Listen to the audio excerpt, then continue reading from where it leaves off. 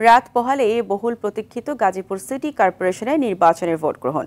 এরই মধ্যে ভোট গ্রহণের সব প্রস্তুতি শেষ করেছে নির্বাচন কমিশন। ইতোমধ্যে কাজী আজিমউদ্দিন কলেজ সহ চারটি স্থান থেকে ইভিএম সহ নির্বাচনী সামগ্রী বিতরণ কার্যক্রম চলছে।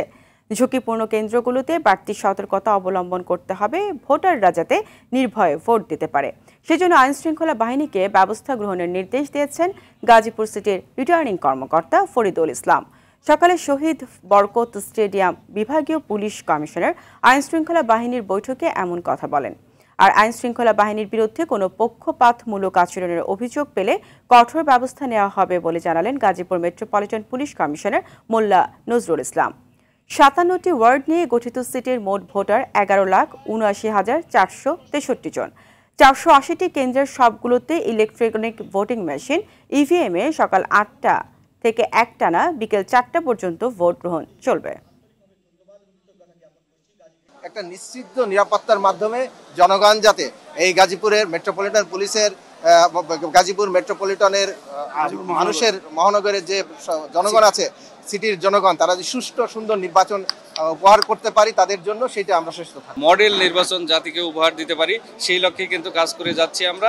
এছাড়া এখানে জানেন যে বিভিন্ন স্তরে আইন শৃঙ্খলা বাহিনীকে ডিপ্লয়মেন্ট করা হয়েছে প্রায় পাঁচ স্তরে এখানে ডিপ্লয়মেন্ট করা হয়েছে এবং পুরা গাজীপুর সিটি কর্পোরেশনটাকে একটু নিরাপত্তার বলয়ের চাদরে কিন্তু ঢেকে দেওয়া হয়েছে। এবার নগদ দিয়ে মোবাইল রিচার্জও জিতে নিতে পারেন বিএমডব্লিউ গাড়ি। দর্শক, নির্বাচন কেন্দ্রে কেন্দ্রে সরঞ্জাম ও আইন শৃঙ্খলা বাহিনীর সদস্য মোতায়েনের বিষয় বিস্তারিত জানাতে গাজীপুর থেকে সরাসরি যোগ দিচ্ছেন সহকর্মী আতিকা রহমান ও তরিকুল ইসলাম তারেক।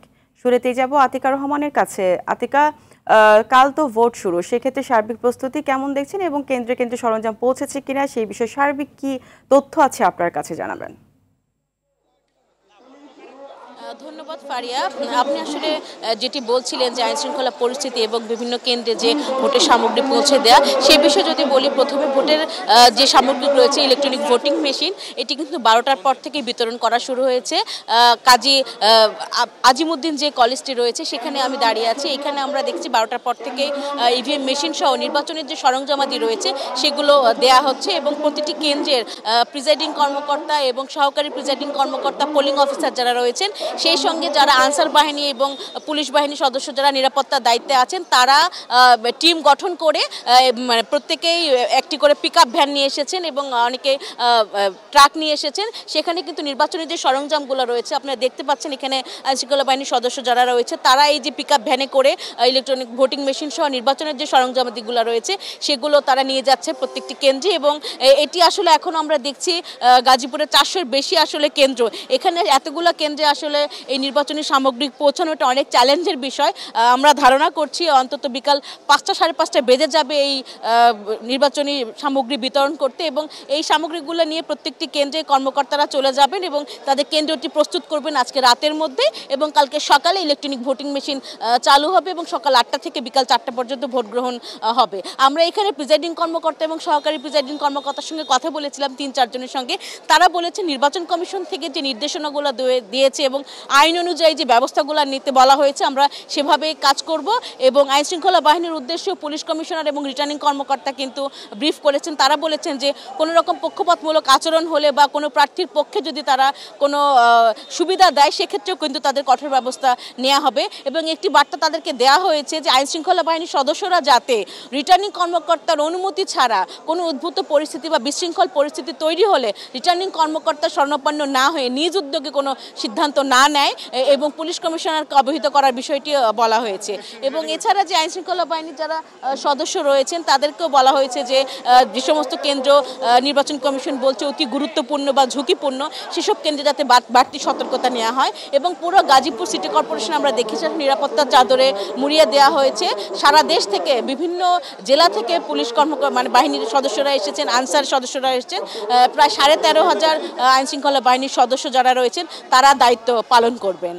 দর্শক, আমরা এখন গাজীপুর সিটি কর্পোরেশন নির্বাচনের নির্বাচনের পরিস্থিতি জানতে আমাদের টঙ্গী থেকে আমাদের সহকর্মী যুক্ত হচ্ছেন তরিকুল ইসলাম। তরিকুল ইসলাম একটু আমাদেরকে জানাবেন আপনার এলাকার যে নির্বাচনী পরিস্থিতি এখন কেমন দেখছেন? ধন্যবাদ আতিকা আপনাকে। আতিকা, আপনি জানেন যে এই গাজীপুর সিটি কর্পোরেশন নির্বাচনটি কিন্তু আগামীকালকে সকালেই কিন্তু শুরু হবে এবং রাত পোহালেই এই নির্বাচন শুরু হবে।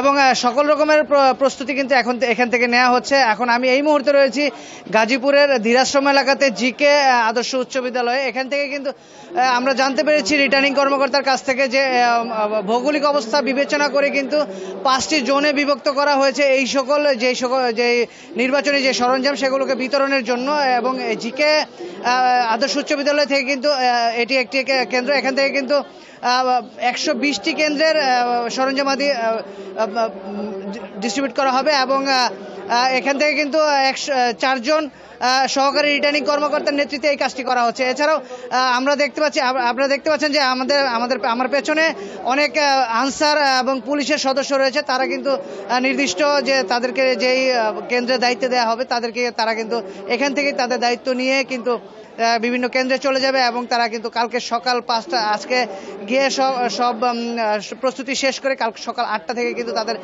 মূল কার্যক্রম শুরু করবে এবং যে আরেকটি বিষয় আপনাকে জানিয়ে রাখি যে গত রাত থেকেই কিন্তু পরিবহন এবং বিভিন্ন চলাচলের একটি নির্দেশনা দেওয়া হয়েছিল গাজীপুর মেট্রোপলিটন পুলিশের পক্ষ থেকে। সেটি কিন্তু ইতোমধ্যে শুরু হয়ে গেছে এবং মোটর বাইক কিন্তু চালা, চলাচল সম্পূর্ণ নিষিদ্ধ করা হয়েছে এই নির্বাচনকে কেন্দ্র করে। তো গাজীপুর সিটি কর্পোরেশন নির্বাচন কিন্তু এখন পর্যন্ত তেমন কোনো অপ্রীতিকর ঘটনা আমরা দেখতে পাইনি। তবে সকলে আশা করছে যে কালকে নির্বাচনটিও সুষ্ঠুভাবে অনুষ্ঠিত হবে। তো এই ছিল আমার কাছে সর্বশেষ তথ্য।